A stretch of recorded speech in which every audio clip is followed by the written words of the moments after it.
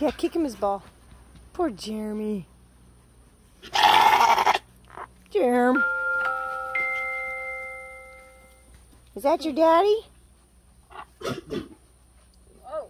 What was that?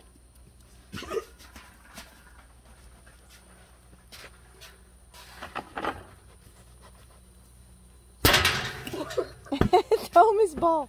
I meant to. Okay, throw better. Oh my gosh. Over the fence. Oh.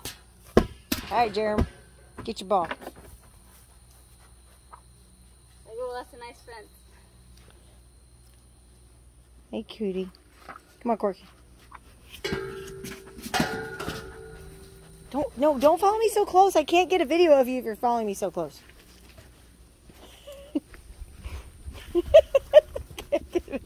I can't get video of him. Stop, it. Mom, look. Oh! Dang! Jerm!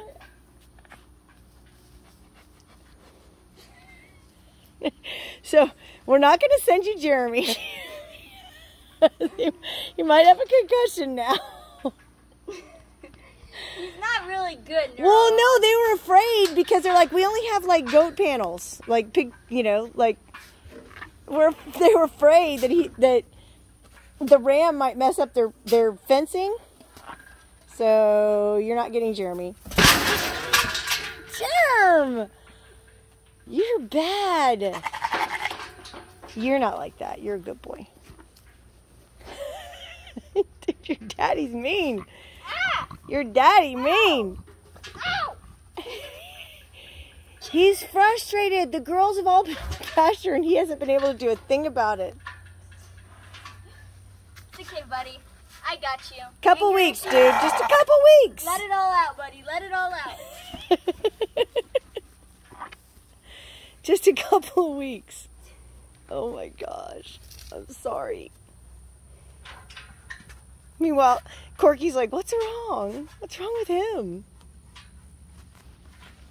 You Okay, I'm ready. I'm ready. Oh, he didn't do it this time. Oh, stop it. I know, it's my customer.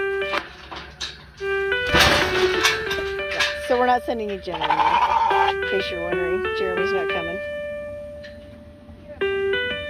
He is pretty. He just doesn't walk very well on a leash. I'm sorry. Or halter.